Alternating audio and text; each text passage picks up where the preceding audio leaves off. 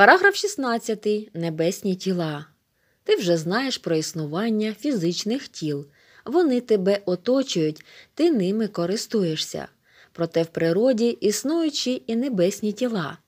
Це всі тіла, що знаходяться за межами Землі, зорі, планети, комети, астероїди тощо. Найбільшими небесними тілами є зорі, найменшими космічний пил. Тисячі років люди спостерігають за зоряним небом, намагаючись розібратись у його зоряному різноманітті, класифікувати його, якось позначити. Зоря самосвітне небесне тіло. Розжарені небесні тіла, що випромінюють світло, називають зорями. Неозброєним оком на зоряному небі можна налічити близько трьох тисяч зір, а за допомогою бінокля, підзорної труби чи телескопа набагато більше.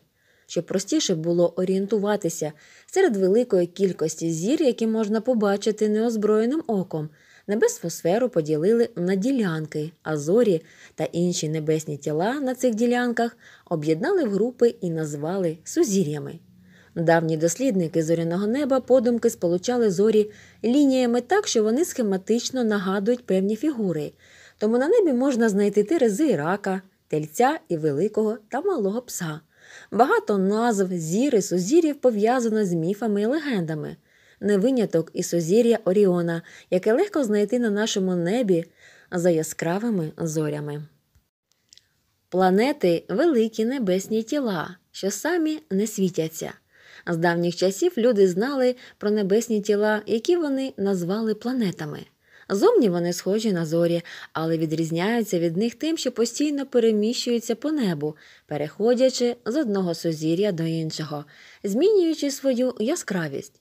Пояснюється це тим, що планети рухаються своїми орбітами навколо Сонця і світять нам його відбитим світлом.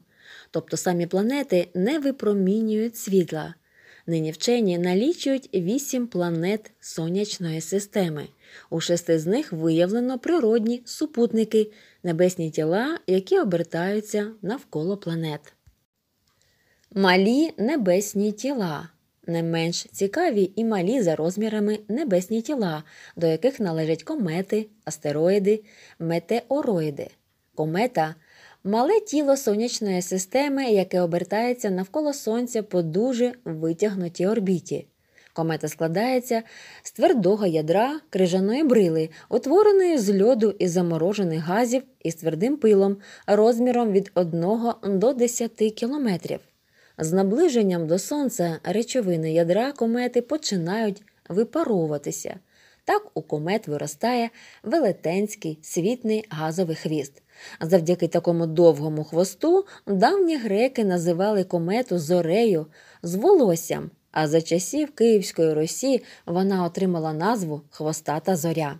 Ти вже знаєш, що навколо Сонця обертається вісім планет.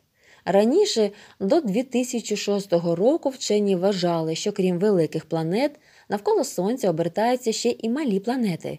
У давнину їх називали планетоходами, та з часом за ними міцно закріпилася назва астероїди.